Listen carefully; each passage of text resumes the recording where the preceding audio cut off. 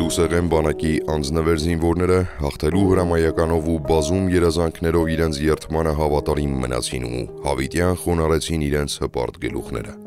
Նրանցից էր Պաշտպանության բանակի պարտադիր ժամկետային զինծառայող շարքային Միխայիլ Կամոյի Ստեփանյանը։